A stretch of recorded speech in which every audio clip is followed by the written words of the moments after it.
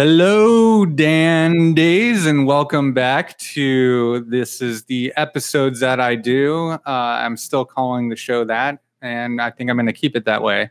Today we have Parenthesis Eye back on the show. Uh, we're going to continue our conversation about utopian anarchism and uh, some of the finer details that Parenthesis Eye has developed uh, since that time. So up on the screen, I have pulled up here, uh, you know, your blog, and you wrote two entries recently. One is imagining utopian anarchist communities, and the other one is envisioning a utopian anarchism. And uh, I wanted to go through these because I really like the way you lay it out. You know, you have very pointed, well sectioned bits uh, that cover your vision and um, I thought that using the envisioning a utopian anarchism one might give a little more coverage of uh, of some of the important topics than the other other one did. But before we get to that one, so in imagining utopian anarchist communities, you uh, you elaborate on ten principles, right? Uh, and if you're able to, you want to go through those 10 principles real quick uh, and uh, why they're important? Yeah. Yeah. So I remember the last time I was on your podcast here, like I said, I wanted to write something about my kind of utopian anarchism. And since the last podcast, I've here I am. I've written that stuff. and so these two blog entries. Yeah. And so like uh, with my kind of utopian anarchism, it's based on like 10 principles and so I'll go through them here kind of briefly. Uh, principle number one is like keep an image in mind of the kind of society you want.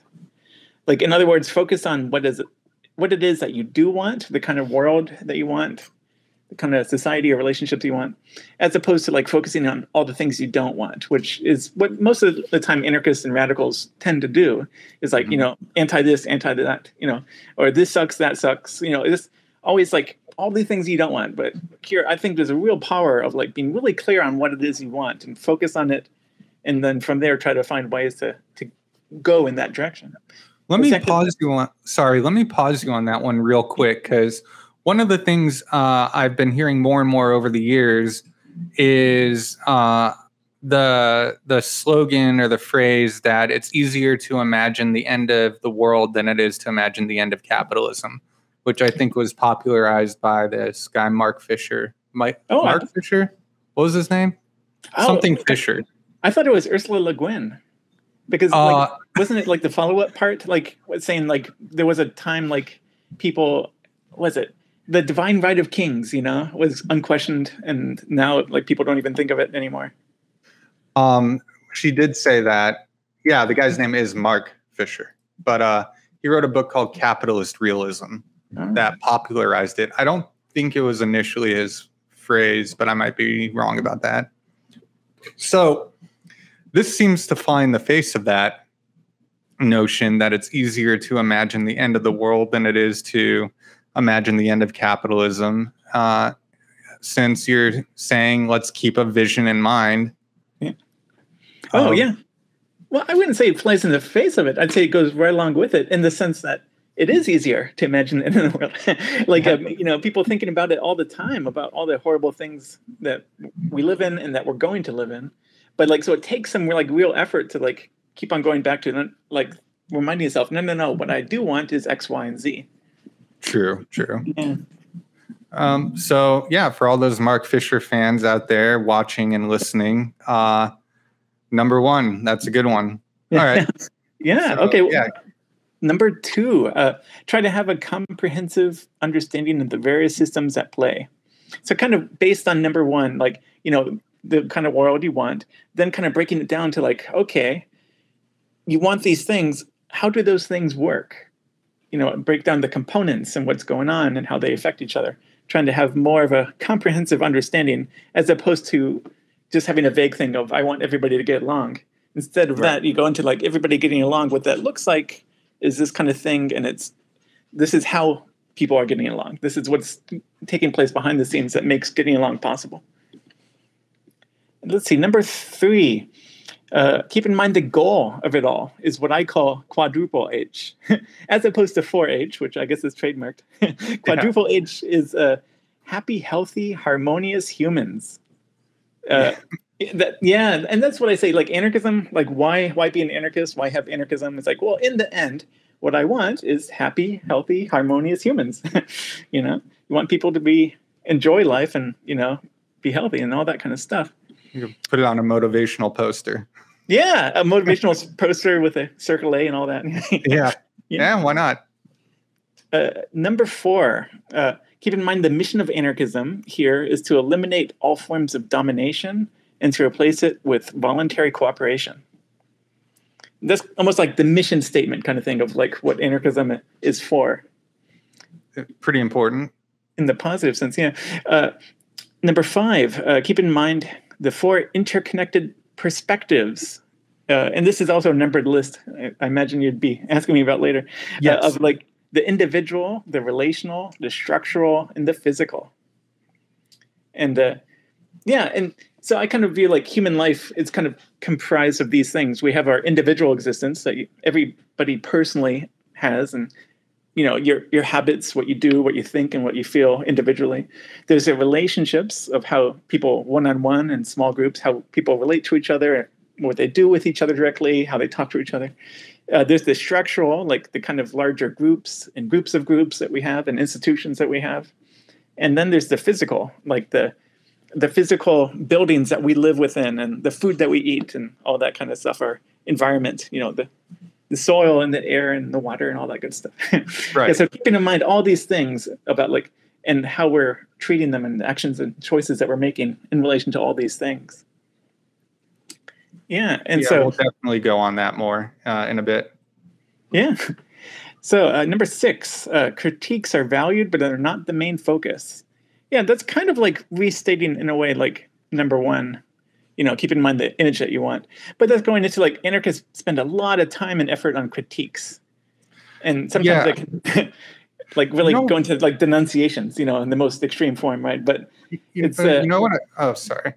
Oh, you yeah. know what? I, you know what I've noticed too is um, not only is there a focus on critique, but it seems like when there is a critique, that means something should be rejected.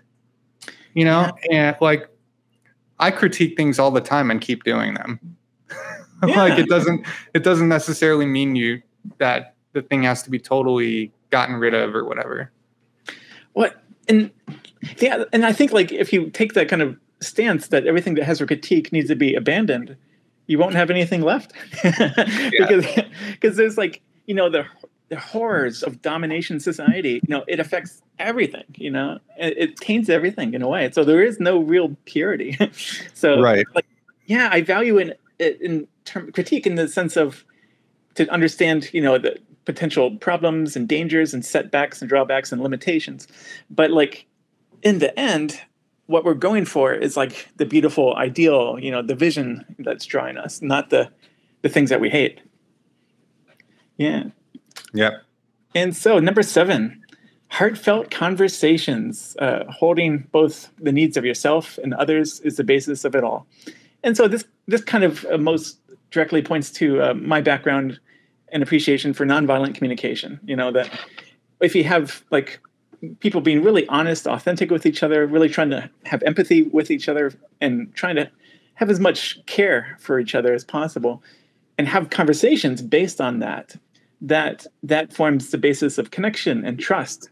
And I think I remember you saying to me once too, like about like how trust is like the bottom line kind of social currency or something. That yeah, I said trust is the is the currency of social life. Yeah, there you go. Yeah. And so I think, you know, having these heartfelt conversations is kind of can build trust over time. Oh, yeah. And let's see, number eight, all social constructs are impermanent and can be replaced with new ones if necessary. And so I kind of view uh, that as, for me, that draws back to Max Stirner and like how he, you know, uh, his idea of spooks and instead of using the word spooks or geist and all that, I use a phrase, yeah, social construct, you know. And yeah. social constructs are all over the place, you know, that we create. And doesn't, we doesn't recognize that- sound as silly. Yeah, yeah. You're not talking about ghosts. You're just talking about stuff socially that we create together, but we can also get rid of if we want to. And to every every concept that we create together, to always keep in mind we can get rid of it and relate differently, have a different kind of social construct. And let's see, uh, number nine, uniformity is not necessary for sufficient cooperation to be possible. So, you know, I have all kinds of ideas and I've written a bunch of things, and I would love people for to love, appreciate, and appreciate everything I say and think. Right? That would be wonderful. But I realize doing that would it's not necessary, and it's also detrimental. And the same goes for anybody else, any other thinker. Like, you know, we can appreciate any thinker out there, but uniformity it's not necessary. so, like any kind of ism or any kind of ideology, like I, I don't I, I think we don't and nobody needs to sign up for anything that the key thing is like to authentically bring like yourself your, your actual thoughts and feelings and beliefs and such and like dialogue and by negotiating and working through things then we can like that's the kind of basis for relationship i want not people signing on to an ideology When you say that, you mean uniformity uh, in the like having a uh, like a shared ideology, right? Um, yeah yeah But And- what about uh, when it comes to like consensus? Do you believe more in a modified consensus, or uh, you know when you're making decisions, like uh, consensus minus one, or consensus minus five, or some you know whatever the size of the group is, or are you not so much talking about that?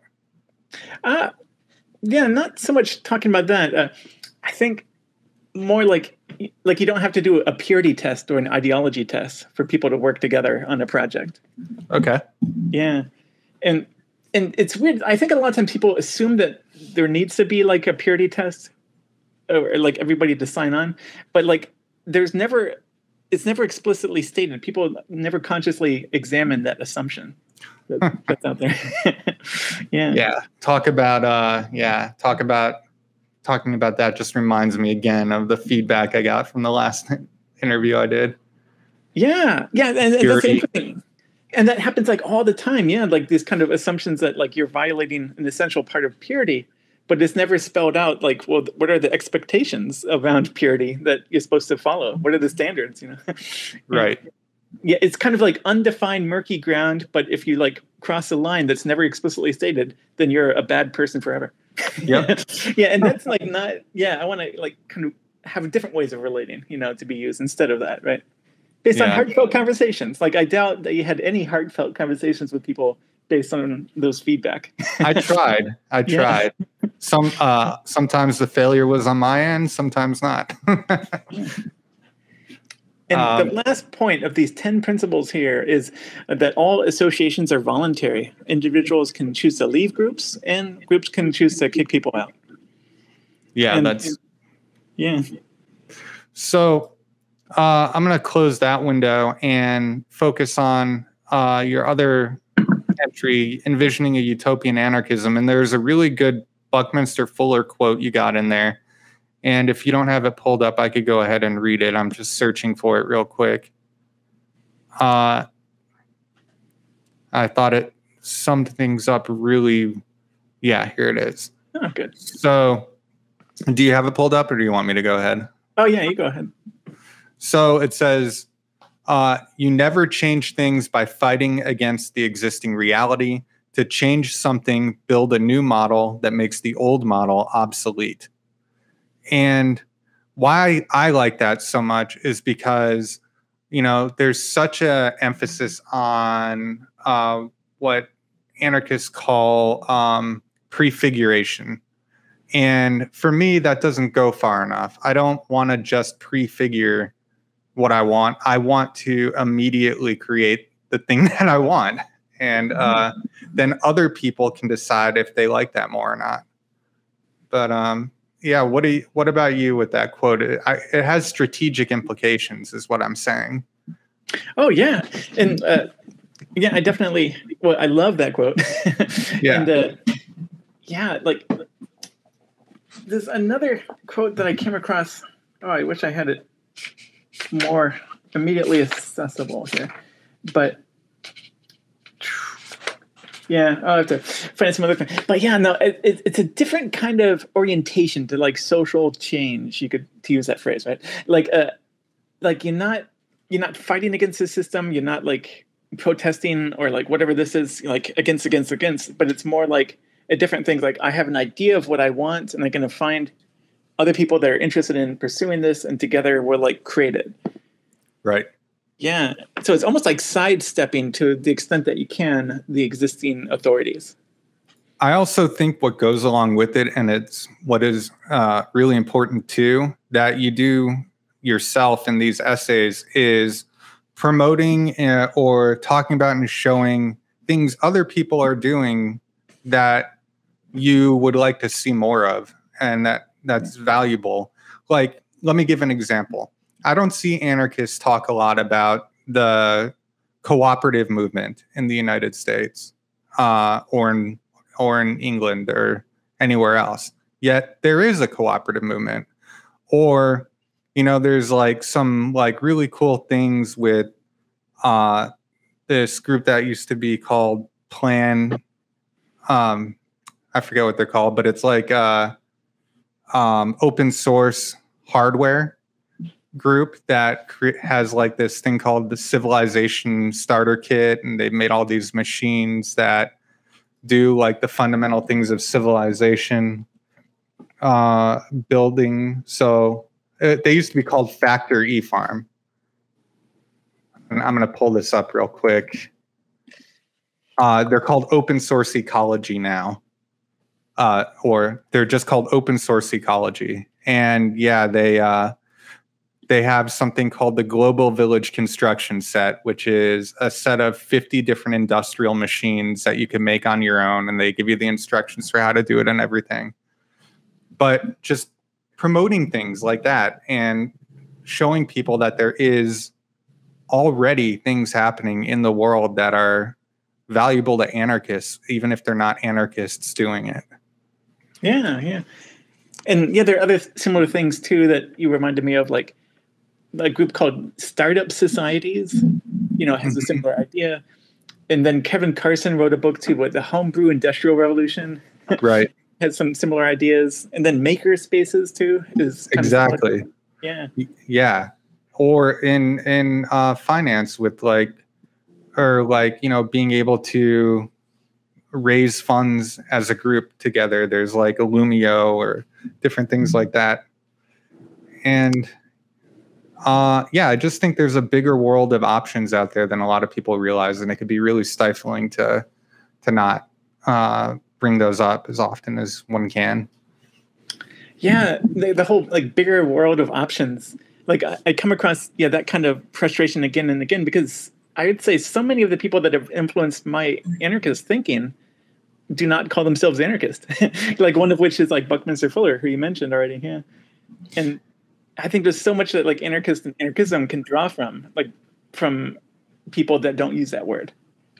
Yeah, and Anarchist News just had one of their topics of the week, or they did a poll actually of your favorite non-anarchist or something like that. Yeah. Um. Anyway, let's get into your uh, this piece here. You start off saying, talking about um, how you will come up with new labels and try to create new schools of thought every few years or so. And uh, you talk about a lot of what we talked about in our last episode. Um, and then you get into your four perspectives, which you briefly went over uh, a few minutes ago, but uh, I think we could go deeper into it now. Yeah, it's kind of similar. Like the uh, it was in like the ten principles I mentioned the four perspectives, and it kind of reminds me of like how in Buddhism the Four Noble Truths references the the Noble Eightfold Path and vice versa. yeah, the, yeah. the connection. Yeah, but uh, yeah. So the four perspectives. So like the first, and I also realized too that like out of all the four perspectives, there's an anarchist school of thought that focuses primarily on each one too. uh, I thought, yeah. Yeah, and so like what I'd like to do is like to acknowledge and incorporate all the different perspectives, not just be focused on just one of them. So like for example, the the individual or personal perspective, and like obviously individualist anarchism and egoism focus m- mainly on that perspective, and then Mhm. the relational perspective, interpersonal, you know, like uh, there's something called yeah relational anarchism or relationship anarchy that focuses mainly on that, and then the structural perspective, like well, that would be a lot of uh, like anarcho communism, you know, and thinking of these big systems like that. And then uh, the physical perspective, I'd say like ecologically oriented anarchism focuses mainly on the physical. Right. Yeah. So yeah, uh, that was. I think that's really clever, and it shows, uh, you know, that these different schools of thought are compatible if you look at them the right way. Yeah, yeah. They're compatible, and like each one is essential too. Like, uh, I don't want to overlook any of them, and they all like affect each other too. Like how a person is ind- individually or personally that affects relationships, and you know how relationships are affects like how a group and an institution works, and like how the physical environment you know that affects people personally and what people are capable of doing in relationship with each other. So it's all interconnected too. Yeah, holistic. Yeah, holistic. Yeah, like a holistic, interconnected perspective. I think that kind of orientation is all over my uh, approach to utopian anarchism. Yes. Um, so let's talk about Manfred Max Neef, because Ah. that's where you begin when you start talking about how these perspectives have influenced your anarchism. Yeah. So Manfred Max Neef, he was a Chilean economist that passed away a few years ago, and uh, he had this idea, what he called like fundamental human needs or universal human needs, that is uh, basically that everything that people do is to meet some basic need, uh, whether it be like your physical needs, you know, like air and water, food, or like uh, emotional needs or social needs, like you know, belonging and connection, or uh, mental needs like understanding or expression you know all kinds of different things like that. And all these needs can be met in like potentially infinite different ways. And so like what he makes the distinction between a need and a satisfier or a strategy you know different things that you can do to meet the need which is distinct from like the need itself. And so that opens up like infinite options of ways that people can meet needs and to not get stuck on like meeting needs in a particular way. And you compare this with the concept standard of living uh, or gross gross national product, and I think that's really interesting because I usually work off of like uh, I try to figure out what a standard of living should be first, and you you seem to be challenging that here. Yeah, well, like uh, because uh, yeah, standard. It assumes like a a certain kind of mysti- a material standard of how much money or wealth and stuff you have. And uh, what Man- what Manfred Max Neef said is that you don't really need any particular standard as well as people's as long as people's needs are being met, as long as people are. Well, as I said earlier, healthy, happy, harmonious humans. you know, Right. as long as that's going on, yeah, you don't have to have lots of money and stuff if your needs are being met. Uh, so yeah, so if you want to learn more about that, definitely Manfred Max Neef is where to go looking. Um, your second one is the comprehensive anticipatory design science. Oh yeah, and that's the Buckminster Fuller. hmm Yeah, and so his whole thing, yeah, was like from like a systems perspective and an engineering perspective. How can you, like as the name says, have a comprehensive worldview and anticipatory, like you anticipate potential problems and shortfalls. And actually, that's like one area where like critique can be useful too. You know, if you like incorporate all the key learnings from like critiques, you can use that to anticipate potential problems and shortfall uh, when you design a new system. And design, well, that's the key thing. Yeah, is like you intentionally design something to implement instead of like haphazardly walk into it. Uh, and science, of course, we all love science here, well, as long as we're not anti-civ, I guess. but yeah, you know, try to systematize. You know, try to have stuff based on observable fact as much as you can. Yeah. Um, number three is utopian socialism, which, uh, yeah, go on. Yeah. Oh, yeah. So you're looking, yeah, here, at the, my f- four influences of my kind of utopian anarchism. Yeah. And so, yeah. So where I'm coming from, yeah, these uh, what you mentioned already with Manfred Max Neef's Human Needs, Comprehensive Anticipatory Design Science, they both have influenced what I'm calling utopian social uh, utopian anarchism. But utopian socialism has influenced me using this name here, utopian anarchism. so utopian socialism, it was before Marxism was a big thing. It was people like you know Charles Fourier and a lot of other old European men that uh, had this idea of like you you imagine yeah the kind of ideal society you want, and you make your arguments for it, and then a lot of them were uh, into the idea of creating utopian colonies. You know, they call them colonies. You can call them call them intentional communities or whatever. Yeah, where like not, people not, not the best terminology these days. Oh yeah, the, the word colony. Yeah, a, but a lot of them, yeah, people that were exposed to these ideas and became excited about them. Uh, a lot of them then got together and moved to North America in the United States because at the time that was like the new land, the new frontier, and you know lots of space available. So a lot of different colonies were created of these utopian socialists to like create their new societies, and uh, yeah, they all pretty much failed. But I appreciate the spirit. so one thing, one thing about the original utopian socialists, though, is that they weren't libertarian. They they were some of them were pretty authoritarian, like Saint Simon, oh, where yeah. they were kind of like you remember the Zeitgeist movement, right? Oh yeah, that was really popular for a period of time. yeah, it would kind of be like, well, I guess the people watching this probably have no idea what that is. So, and they they weren't so concerned about the democracy, even though they were concerned with like technically creating uh, better societies.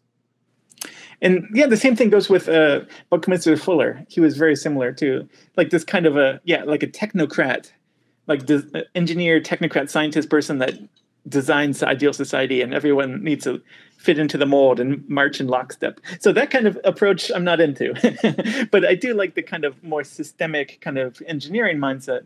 But then you also at the same time keep in mind how does like group decision making and interpersonal relationships and conflict management how, how can you do all those things in a way that's really humanistic and that kind of connects with people and like i said earlier it's based on like the authentic heartfelt conversations with people instead right. of trying to get people to fit into a mold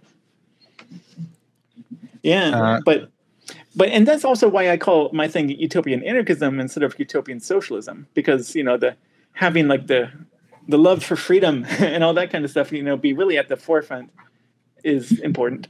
Yeah, and definitely you don't want to confuse people about that because uh, the technocratically planned society is not uh, usually an anarchist ideal at all. oh, yeah. Um, all right, nonviolent communication. We've talked about it a bit. You did mention person centered therapy in there, though.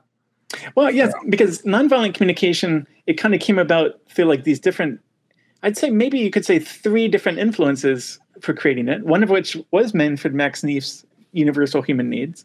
Uh, another is the humanistic psychology, uh, particularly Carl Rogers' approach, mm-hmm. uh, which, uh, in short, I'd say Carl Rogers' approach was a well, he was a psychotherapist and so he said that like healthy relationships where people learn and grow in positive ways it comes about through the, having three qualities present. One is the authenticity, people being really honest uh, with the other person. Other is empathy, empathically understanding the other person. And the third is like caring, trying to uncond- unconditionally care for the other person and value them. And he says if you have those three things going on, regardless of what you're saying, eventually people will learn and grow. And so, nonviolent communication, uh, the creator of that was Marshall Rosenberg, who's also passed away a few years ago.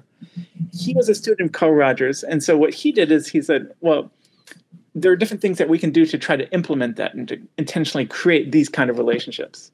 You don't just think about authenticity, empathy, and caring and hope it works out. Instead, there's right. like ways you can get there. And then also, I'd say like uh, a third influence in the creation of nonviolent communication is nonviolence. You know, it's right there in the name, and that's like you know uh, Mohandas Gandhi. You know, and his philosophy, and he actually wrote many different books and stuff, but I don't know how many are available in English. But he. Huh. There's a lot you could say about. You could have a whole separate podcast just about Gandhi. I'm I'm sure. yeah, yeah. So, uh, yeah, it's funny that when we talk about that, nonviolence is not the first thing that we even mentioned. Um, yeah. Uh, so the next section is your 10 principles. And this is after we go through this, I wanted to talk a little bit more about some of the things I thought were missing. And, or in other words, some things that could be added. Actually, sorry, I wanted to do the next two sections before we do that. Well, actually, we just did the 10 principles earlier. Oh, then, okay. That's okay. That's repeated. Okay. Yeah. But then there's the 10 practices. Yes. So it's yeah. after this section that I wanted to have that conversation. Yeah. Uh, so yeah, let's talk about those because they're all really good. Yeah. So these are like practical things that already exist in the world that people can do or experience or learn from, study, all that. And so, uh, and these all kind of inf- are things that I have experience with as, and so they kind of influence what I'm calling utopian anarchism. So the first one is egalitarian income sharing intentional communities. And uh, there's an organization in the United States called the Federation of Egalitarian Communities, the FEC. And you can go to their website, uh, and find out more about them. And the the first intentional community I ever lived at was a Twin Oaks community. It's been around since like 1967. It's in Central Virginia, and it's kind of like the largest, you know, kind of strongest intentional community that's in the FEC. And they're all, yeah, egalitarian. They all try to not have hierarchies. Uh, try to, and they all have different systems depending on the community of how they practice that. And uh, their income sharing, you know, they get money through usually from businesses that they own and run together, and then the money supports the whole community instead of going to individuals. And they're usually yes, secular and nonviolent too. Oh, so not based yeah. on religion. Which a lot of the early communes were or are, yeah. So yeah, I'd say like a lot of like these intentional communities that have been strong and survived over time have been based on religion. Like for example, yeah. the, there's the Hutterites. I'm amazed that the Hutterites even exist. There's like hundreds of these intentional communities across uh, North America, you know, U.S. and Canada, and they've been there for like a very long time and people don't even think about them but they they have a whole kind of parallel society within our society i think that's um, that's really amazing and it's i've never heard of them in particular but what comes to mind for me is other like the amish or the uh um forget the other oh, oh the mennonites you're thinking yes yeah and they're related yeah they all come from like the anabaptist tradition mm-hmm. and the the hutterites I think there are more intentional communities of the Hutterites, more so than Mennonites and the Amish. But like they they kind of like try to avoid PR stuff. You know, they just have their society and they have kids and they have different generations, you know, that are living there. And they are in the United States and Canada, but they just try to just stay away from like mainstream society. Yeah. On the one hand, like it seems like religion might be uh you know one of the things that holds these together. On the other hand though it wasn't until relatively recently in human history that not being religious was a thing. So yeah like even an option yeah. of, yeah of course like medieval communes were religious that they were all religious anyway. Everything was. So that's how and they saw the world. And that's so interesting too because like there's a lot of things I do really love about religion in, in the sense of like people having a belief that really inspires and motivates them their whole life. And like uh, having a sense of community coming together based on around shared beliefs and values. Mm-hmm. and really like taking it personally and having your life dedicated to it. But at the other hand there's like the kind of you know superstition and the kind of group think and all these things that can be associated with it too so yeah. i'd love to find ways to like have the positive aspects present without the negative aspects. that seems like the ticket. Speaking yeah. of religion, though, number two, kind of. Uh, number two, yeah, that also comes from a religion. Yeah, the Vipassana meditation practice. And in particular, my experiences with the Vipassana meditation from the SN Goenka tradition. and uh, this is a, if you go to the website dhamma.org, that's like D H A M M A.org, you find all these different vipassana meditation courses and centers all around the world that are that I find it really amazing. It's all based on a gift economy basis. Like they don't accept, they don't have, they don't charge anything, and all the the money and the labor that they accept is only from people that have successfully completed one of the ten day residential courses that they offer. So let's and, uh, go into. Oh yeah. Yeah, yeah. So like, so I find it vipassana like interesting from a social perspective and a personal individual perspective. The individual perspective is like just based on self awareness, just uh, being aware of your own thoughts and your feelings and your body, and just not judging it, not pushing anything away or clinging to anything, but just what's present? Like what are you doing? Like how, what's your body doing? What do you feel? Where do you feel it? And how does it change over time? You know and just trying to be aware in a non-judgmental way. And that, that's the essence of a vipassana meditation practice. But then you have the, the social thing for these uh, courses where it's all like gift economy and volunteer basis. And i find that like really amazing too in that they've been able to like run all these centers all around the world for so many years now are they the ones that do like the free vegan buffets and stuff? Or oh, you're probably. Oh no, I'm thinking the Hare Krishnas. Yeah. Oh yeah, yeah. I used yeah. to go to one of those when I was was in uh, Eugene, Oregon. It was really good. Oh yeah, yeah, God, yeah. I I think I went to the same one in Eugene, Oregon too. what that one wasn't free, but it was pretty cheap. Yeah. Yeah yeah and but uh no but they are like vegetarian actually and uh the vipassana meditation people. And actually my experience in these vipassana meditation centers both like sitting a course as well as volunteering kind of led to me becoming vegetarian as well. Because it you know it showed me it's possible to like have a vegetarian life and you don't have to like sacrifice that much. It's perfectly easy. Yeah. Yep. Yeah so that's actually really funny that we wind up talking about that a little bit because I think um, a lot of the reason I have wound up at the perspective of sort of like presenting alternatives being so important compared with critique and criticism is throughout my life of uh, having conversations with vegetarians or when I've been one myself and talking to other people about it. The number one thing that always uh, uh, had an impact on me was when I was presented with alternatives to meat. So I could watch as many PETA videos, you know, I could learn all about factory farming. I could be horrified by it.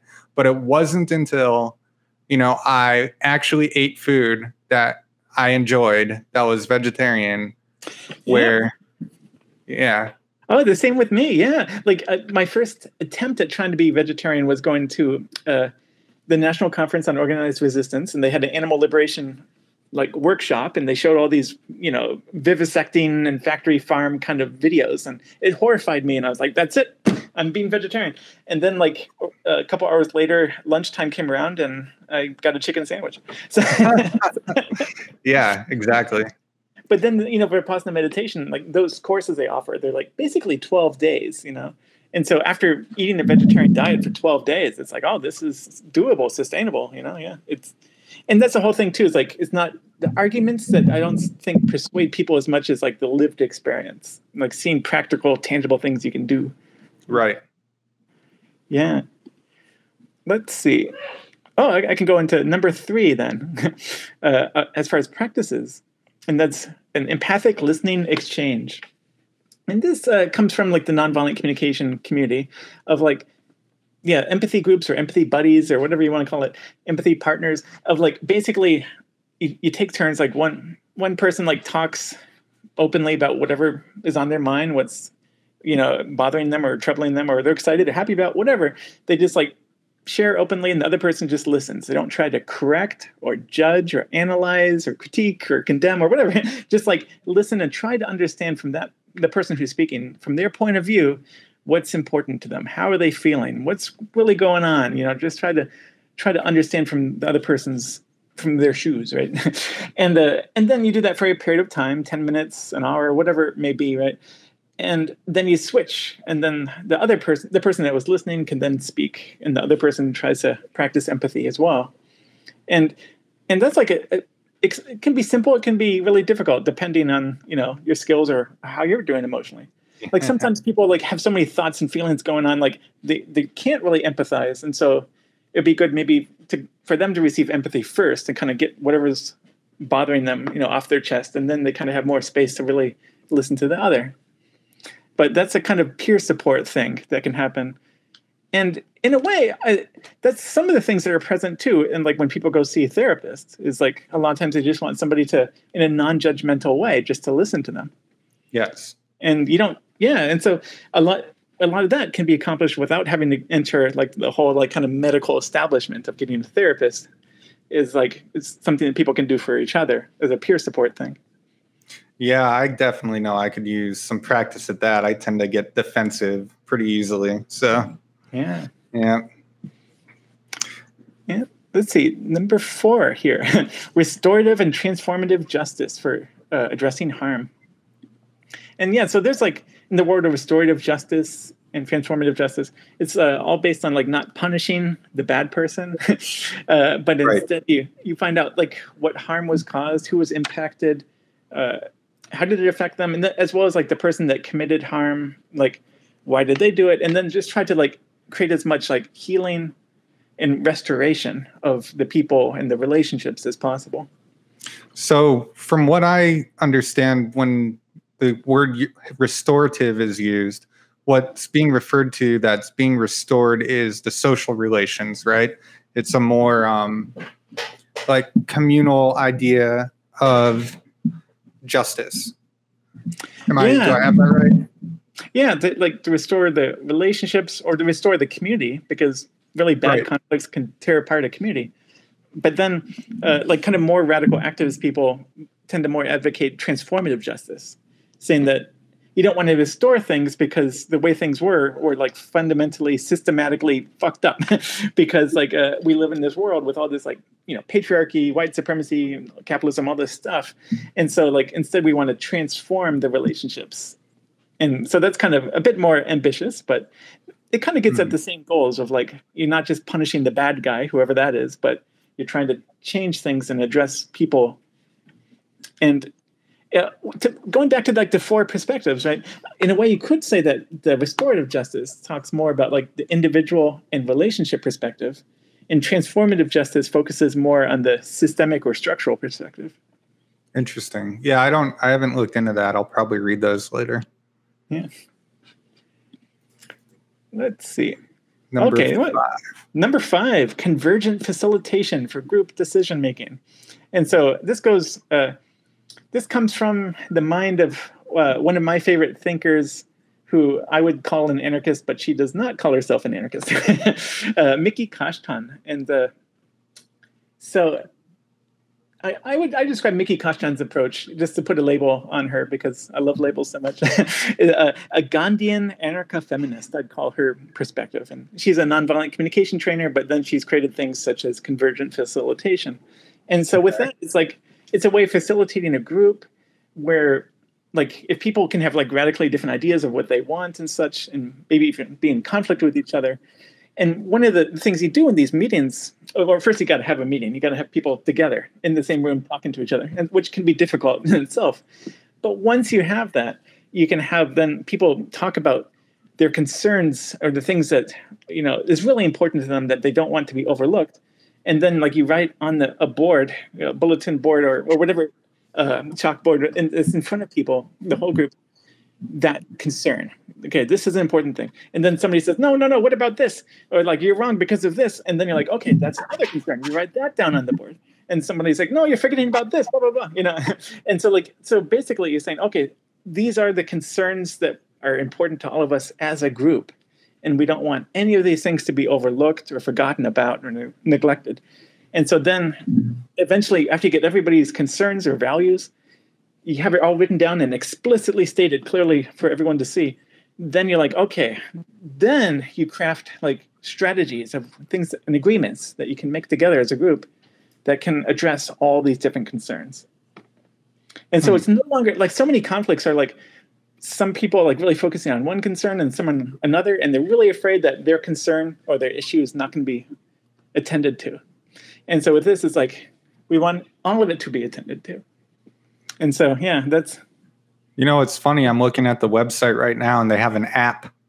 Oh wow! So yeah, you might want to check out the app. Yeah, yeah, that's so 21st century. Yeah. yeah.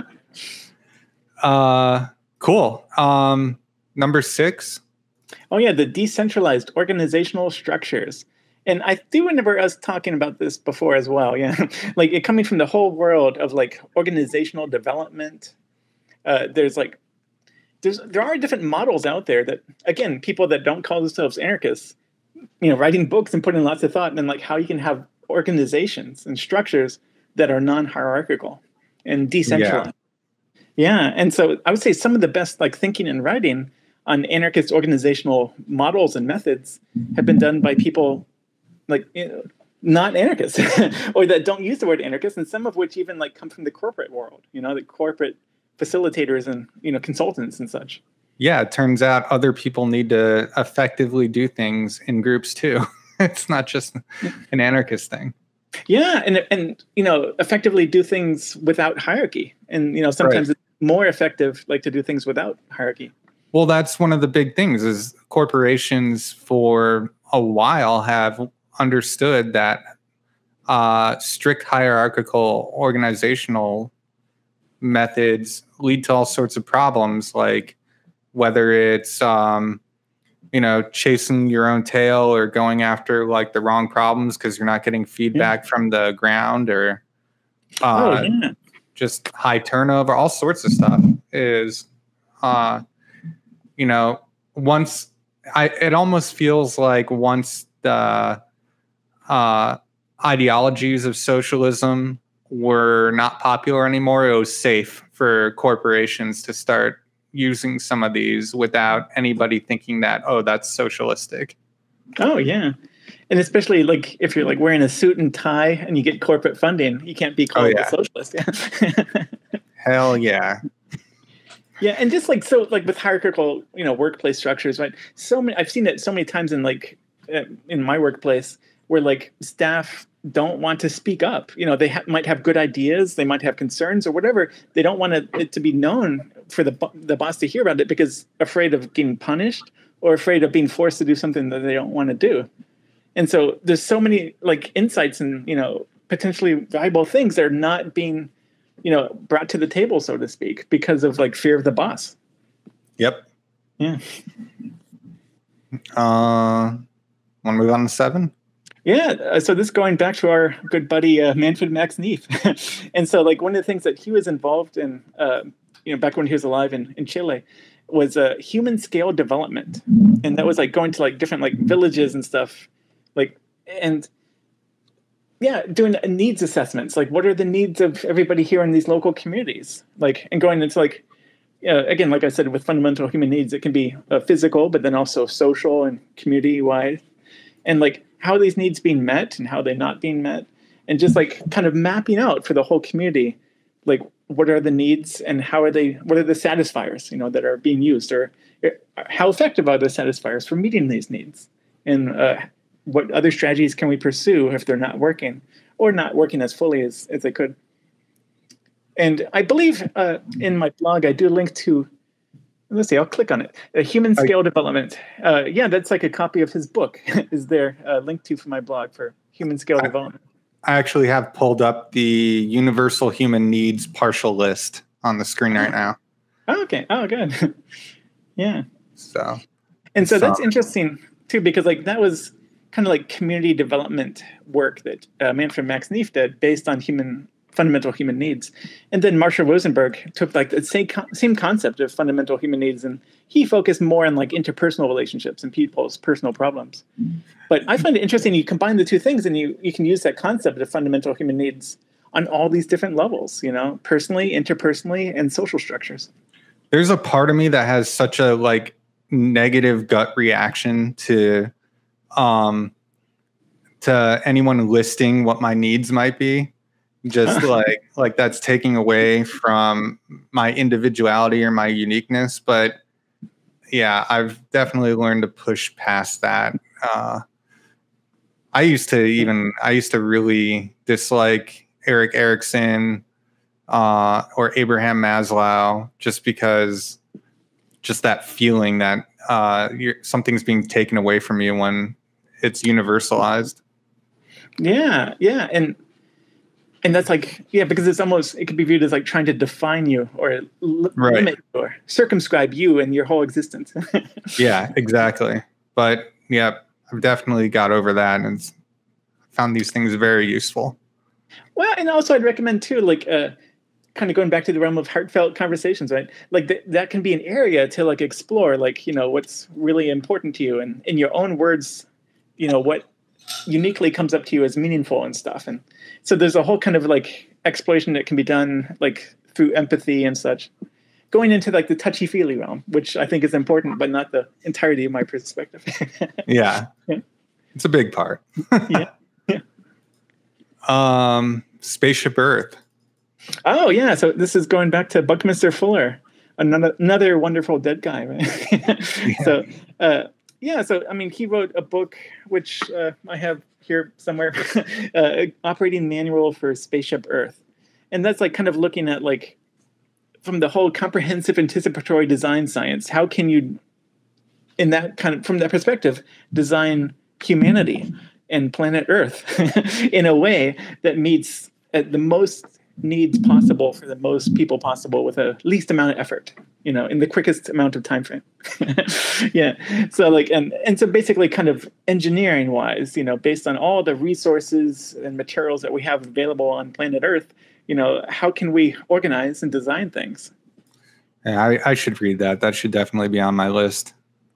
yeah and i linked to uh, a project you know on the uh, buckminster fuller institute which i believe is now based in san francisco but they have a website bfi.org i believe uh, and they have the cooperating manual for spaceship earth and there's all kinds of like uh, if you go there yeah different practices and the things that people are doing that are trying to implement this perspective so you can go there and look for a, like a catalog from that Yeah, I'm checking it out right now. Interesting. Cooperators convergence. Okay. Um. Okay. So Oh, the there's, next a, there's a one. lot there. Yeah. The next one is uh, group size limited by Dunbar's number. And uh, I I think I remember uh, listening to like years ago a podcast that you were on. I forget what, when you lived in the Bay Area. Yeah, I remember you talked about Dunbar's number. Yeah. Yeah, and basically the idea behind that is like this uh, anthropologist Dunbar, I think he's still alive, uh, had this idea that like there's a maximum number of relationships that people can have and still feel like a sense of connection with each person in the relationship. Right. Uh, and that if you go beyond that, that number is like usually, I guess, around like 150 or 200, something like that. yep. Yeah, and if you go beyond that number of relationships, then the relationships become abstract and impersonal and all that. And that so with that in mind, I you know, and based on you know heartfelt connection being so important for all this to work, I think that whatever communities you create should be limited by that number. And to bring it back to the Hutterites, because I you can't forget the Hutterites, you know, they What- keep that principle in mind with their communes and- or colonies, whatever they call it, and they have a whole system in place that they've been doing for decades. Of like, once the community reaches a certain number, they split. It's like a Yeah. cell division kind of thing. You know what else does that is the buy nothing, uh, buy nothing groups. Oh, Um, I'll get into that some other time. I'm actually I'm gonna have someone on to talk about that. So, oh, okay. but they split after getting to a certain size uh, because for all the reasons that we're interested in Dunbar's number. Yeah. And so let's see. The last that I have here of these ten practices listed is uh, student-centered learning, and this goes uh, back to like Carl Rogers, you know, the humanistic psychologist, and uh, his whole thing was like that learning best happens when like the learner, or you can call them the student, like uh, when it's like based on their interest and their curiosity is kind of what drives it forward. So it's kind of it's centered around the student. And so you don't focus on curriculum and agendas as much but more like what is it that you're interested in? What do you want to learn? And so i remember carl rogers he wrote like because he would teach as well as doing therapy and so he would teach in that way and he would like begin the class saying hi i'm carl rogers. I'm a famous guy. I've written a bunch of stuff. I know a bunch of stuff but you know whatever. That's that is what it is. What do you guys want to know? And usually like the students it was usually chaos after that because people are so used to like you know you have an agenda in the curriculum and they just like shove the knowledge down your throat. And so a lot of times people are like i don't know what i need to know. You tell me what to do. And and then he'd be like oh you sound really frustrated. So uh, yeah do you want to go into that but eventually like eventually people get clear within themselves about what's important to them what is their curiosity and where the interest where does it really lie and stuff and, and then based on that they can ask questions and create their each individual directions that they want to go as far as pursuing their interest. And there's schools entirely based on that now. There's the famous one, A.S. Neill's Summerhill. Oh, yeah. But then there's also a series of school called Sudbury Valley. Yeah, oh, I was going to mention them. yeah.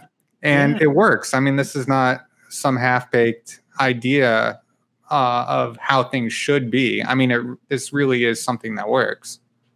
Yeah, I mean, remember another anarchist. Uh, I don't know if you've ever talked about him before, Paul Goodman. Oh, I love uh, Paul Goodman. Oh yeah, he was a great guy.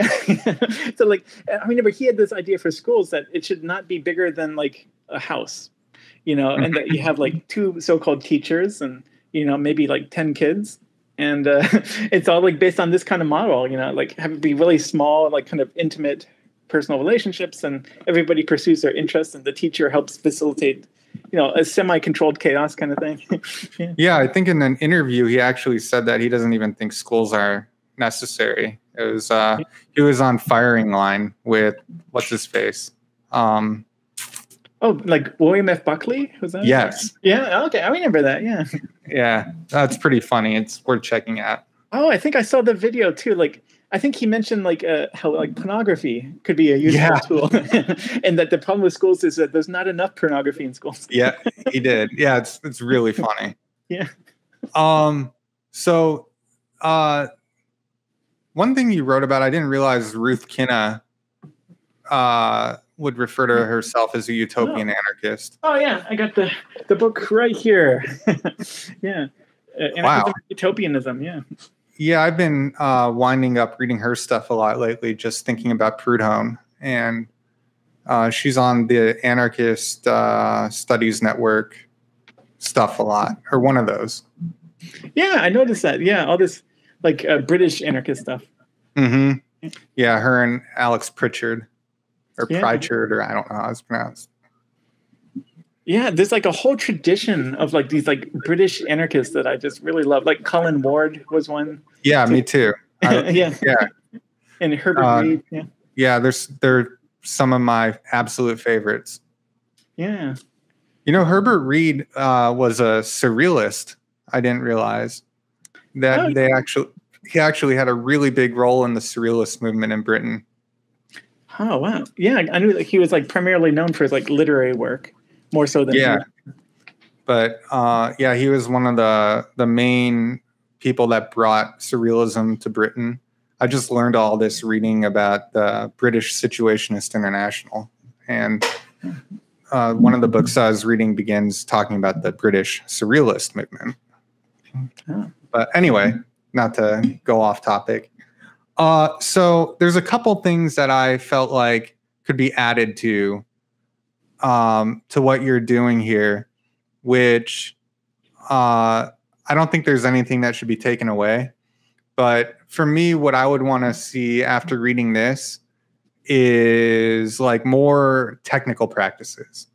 And specifically, I'd like to see like how long would it take to learn what type of practice, how much labor is required, how much does it cost to do it, to really get down to like you know, you could really see what your investment would need to be to start changing things like immediately. Wow, God, yeah, you just like kind of touched on like another blog idea that I've had in my mind, but I haven't written. So that probably means I need to write it before we talk again. yeah, but like, but like a you know, program. like how how long would it take to learn basic plumbing or something? Yeah, like yeah. things like that. What tools would you need? And then I think, yeah, if you could, if we could start thinking about that, things like that more, I think it would go so far. Like just for each of your 10 points, your 10 practices, be able to, to start doing some of that. Oh, so I, yeah, so I thought about it in terms of like the four perspectives. And uh, like what I have in mind is like already existing programs, like learning programs that people other than me have already created that one could sign up for and do in like four in a row. uh, and then after you've done that, then you have like a, a, basic training foundation in my kind of utopian anarchism. So like yeah. what I came up with is like, so for the individual personal perspective, like to do one of those free 10 day Vipassana meditation courses. And, you know, after the 10 days that then you've, you've gotten the basics of Vipassana meditation down. Uh, and then for the interpersonal, uh, I recommend doing what they call an, interna- an international intensive training that the Center for Nonviolent Communication organizes. It's a nonviolent communication residential course, also about 10 days or so, and they have them around the world. Uh, and then for the structural perspective, uh, an event that just ended recently uh, at the Twin Oaks, they have an annual Intentional Communities Conference at Twin Oaks in Virginia. Uh, that happened around Labor Day weekend but I think there are other intentional community organizations that have their conferences and stuff to like learn the basics of intentional communities and intentional community design. Yeah. And the, oh, oh, and then the fourth perspective, uh, the physical, uh, would be uh, taking a permaculture design. Course. Yes, exactly. Yeah, and like I wonder what you know. I'm always wondering what some of the learning curves are like on these things, and of course, you know, there's going to be regional differences, especially with permaculture. So, like, how long how much effort does it take to really become familiar with common flora and fauna you know in the region you live? And how do you go from that to creating useful tools and and things that are going to be needed uh, you know to have a, a self-sustaining society? Or maybe yeah. not even society just a group. Yeah. That would be really interesting to see. And i think I think when I talk to people about anarchism and they start asking me questions about, you know, what would an anarchist society look like or things like that, this is the kind of stuff I wish I had handy just to be like, not even, I mean, all the organizational stuff's really important, the communication, everything like that. Uh, what I think people have learned to be aver- have an aversion to, though, uh, not though, also, is doing physical things, making things, um, permaculture. Oh, getting uh, your hands dirty. yeah, repair. Yeah. yeah.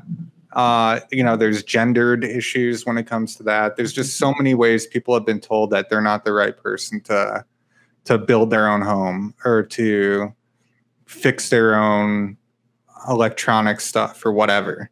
And hmm.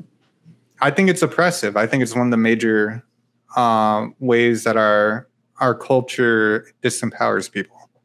Oh yeah, yeah. It's like we have like like such an like an alienated, disempowered, consumerist society, and so mm-hmm. it just kind of like outsource everything from like you know who knows where you know, and it just kind of shows up and you just consume it. And then yeah, people have like the very specialized division of labor, so they do their little thing, their little job, whatever. Right. and that's like the only productive activity they do. Yeah. And, and then it actually, it uh, encourages. We imagine the whole thing, you know. We imagine like like maker spaces, for example, and like different like learning structures they can create where people can like learn and explore these things together. And it also that also the consumer culture also teaches people and encourages them to become whiners and complainers about everything. Yeah. And um because that you know it takes your power away from you to be able to do the thing yourself. And so you're you're left with just being able to complain just being able to protest just being able to you know write your congressperson or whatever. Yeah exactly yeah. And in a way like that kind of segues into the whole thing of like so much of anarchism and radical politics being like denouncing x y and z instead of like pursuing the thing that you want to pursue. Right. Yeah. yeah I think that really ties those two things tie together a lot. Um, yeah. I, I, the more I, I, uh, see behaviors I don't like that are like that, I realize that they're a product of our consumer culture. Yeah, exactly. Um, so I think we covered a hell of a lot here, and I because of your blog, I have a ton of links to put in the show description and stuff. Um, was there any what what else would you want to talk about? Oh, the five processes that I got from the nonviolent global liberation community. Yeah. That, Is there uh, something I could pull up for that? Uh, oh yeah, uh, the other blog entry, imagining utopian anarchist communities. Okay. I, I, give like another list. Oh, there's no numbers on them, but the number is five, and that's a basically for any group or you know social structure that you create uh, the idea is like there's five things you need to keep in mind when you're designing this group structure.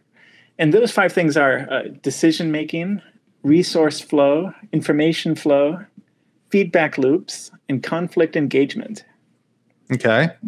And so yeah it's kind of this is uh, from the nonviolent global liberation website uh, nglcommunity.org is the website for that like uh, they give questions for each one of these things, like decision making. Who makes what decisions? Through what process? Who gives input? Who hears about the decisions? For resource flow, the questions would be what resources exist? How are they generated? How are they distributed? What principles are used to decide the flow? Who makes the decisions? Information flow would be what information is shared and with whom? What mechanisms are used for sharing them? And for feedback, uh, who gives feedback to whom, for what purpose, and how, how often? What external feedback mechanisms would support learning about the effectiveness? Uh, conflict engagement, because conflicts inevitably come about among people, you know? So, with that in mind, is like what support is available for conflicts? What process is used for engaging with the conflict? How can anyone initiate it? And how is that all made known to people? All right. Yeah, those are really good questions to be asking. Uh, yeah. yeah, I think one thing, you know, I want to make sure we say before this is over is that, you know, for all this detail you're providing and all of these ideas, how important it is that you're not uh, telling people what to do necessarily. Yeah, it's not about like there's many ideas that I can tell, but I think the key thing is dialogue, you know, people to like have dialogue and to ask questions, ask questions of themselves and each other. Yeah. Um, one random thing that just popped into mind. What do you think of Parecon, Michael oh. Albert and all that? Because he just put out a new book. Actually, uh, I'm waiting for it to come. Wow. Yeah, I didn't even know he was still alive. Actually. yeah, he's been doing like interviews. Uh, and he has a podcast now. Um, called something Z something. Uh, I'm gonna yeah, because I, I right think he was in like Z Media for Z Magazine and stuff. He was one of the key people. And I used to read Z Magazine back in the '90s, so I've kind of lost touch with all that. yeah. Oh, got the wrong website pulled up here.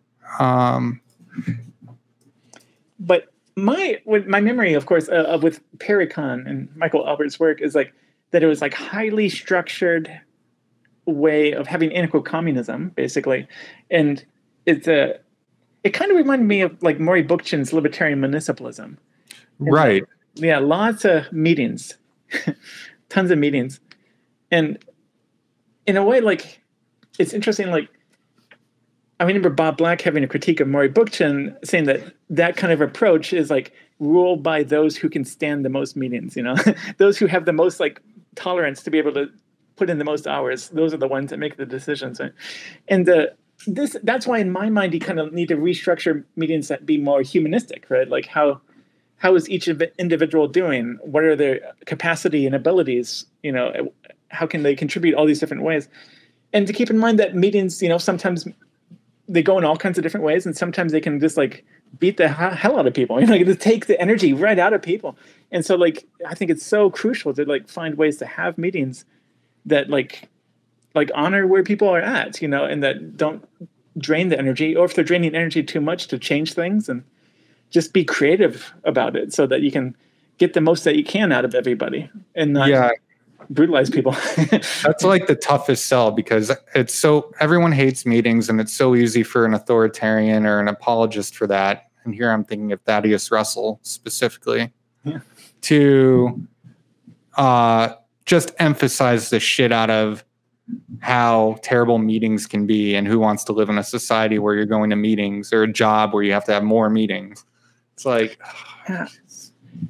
But but still like I mean the key thing is like communication, you know, people all communicating with each other and uh, information flow too. Or actually even all those things that I mentioned, like like you can address ways to have decision making, resource flow, information flow, feedback and conflict engagement.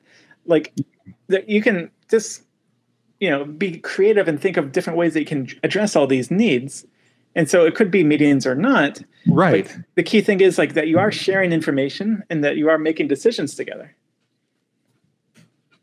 Yeah exactly. Like not all decisions need to be made like in a room uh with um everyone present waiting to come to consensus. You could have an email chain. You could do all sorts of other things yeah. to, for to make a decision and deadlines can be changed and all you know.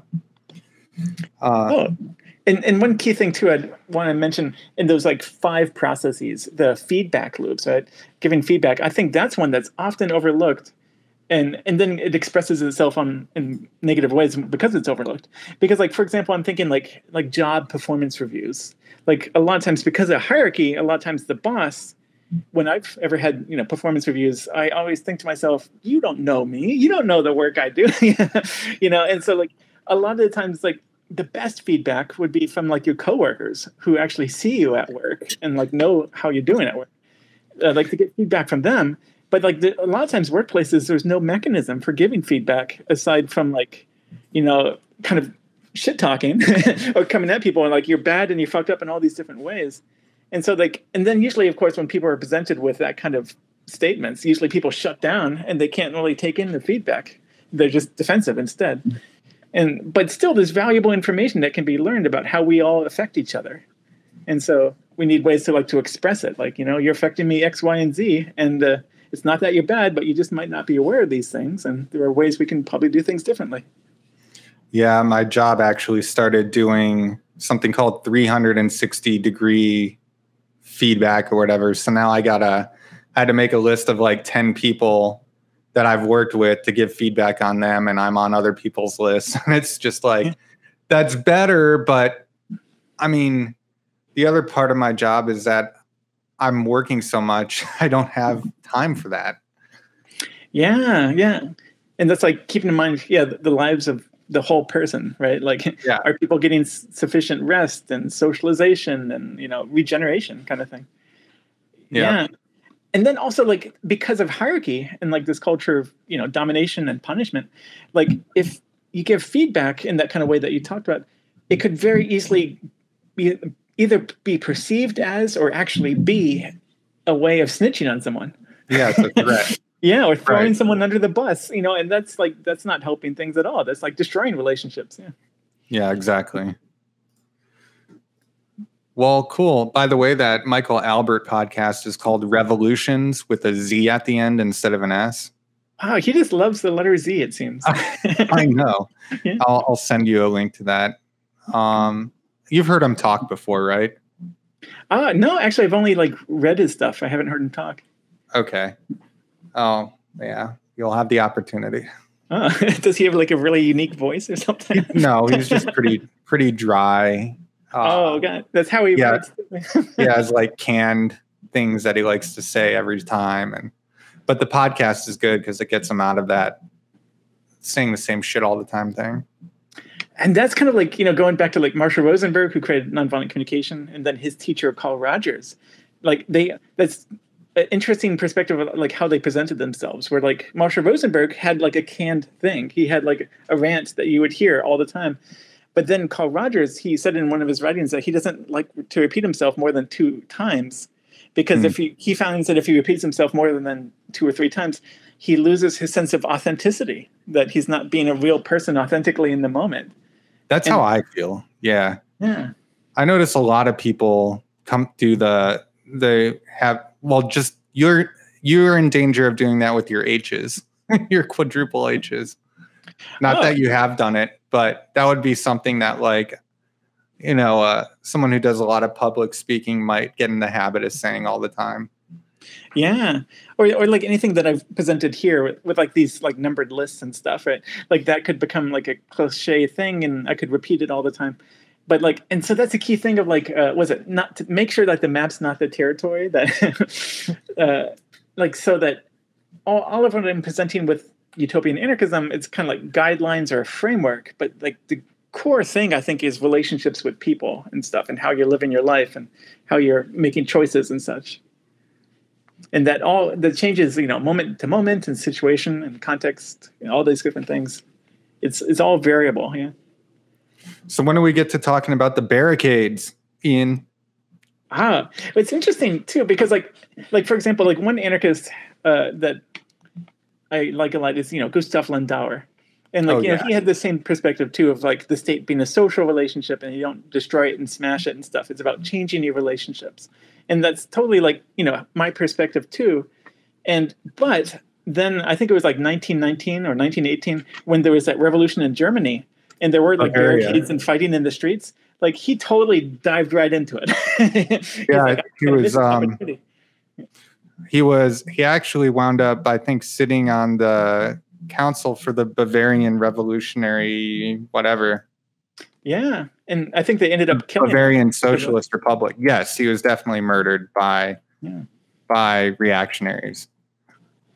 Yeah, and so that's it's yeah, it's kind of hard to like resist yeah the lure or i don't know i think it, like it's up to each individual to decide like how they want to like participate in like protests and barricades and such like that because like yeah, yeah i don't want to like kind of shit on anybody that chooses a more activism or conflictual kind of like way of approaching anarchism. Um, it's just like for me, that's not the perspective I'm taking or the approach or emphasis that I want to have. Yep. Yeah. Understandable. Yeah. All right. Uh, well, cool. I think we got a lot of good stuff here. Yeah. Yeah. Yeah. Cool. Yeah, and uh, I plan on like continuing to like think and write and develop this kind of anarchism because in a way, like I've said in my blogs, you know, I've been thinking about this and building up these kind of perspectives, like the whole my whole anarchist career, so to speak, you know, since the '90s, and uh, now it's kind of more refined to kind of like encompass all these like different perspectives of, you know, the physical, personal, interpersonal, etc. And the but it's still kind of a work in progress. And a key thing is like is uh, what I said in my most recent blog about creating these communities and yeah. with with that, like I do, uh, I I do have some kind of hope and excitement around that nonviolent global liberation. That mm. group, you know, there are people in it that are wanting to create intentional communities around the world that are practicing these kind of things. Yeah, um, yeah, it's a lot of work. Yeah, sure. Decades. Yeah. yeah, definitely. All right. Uh, well, let everyone know again what your blog URL is, and uh, yeah, then we'll we'll say goodbye. Yeah, yeah. So my blog is a Parenthesis Eye. Uh, yeah, P A R E N T H E S I S E Y E dot blogspot dot com. Awesome. So, yeah. All right. Well, until next time, uh, which I'm sure we will be talking again. Um, audience, Toodaloo. yeah, see ya.